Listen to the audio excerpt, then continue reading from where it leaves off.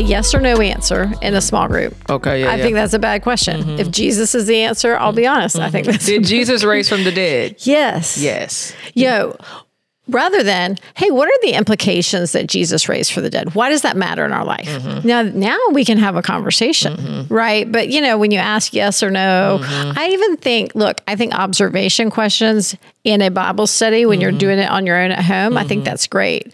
I think in a small group, you know, to ask the observation question, who did Jesus talk to? Who did yeah, you're like the disciples. Yeah. Okay, you know, Yeah. it's it's a little rather than let's go ahead and say, okay, so Jesus was talking to his disciples. Mm-hmm. How did he talk to his disciples different than he talked to the Pharisees?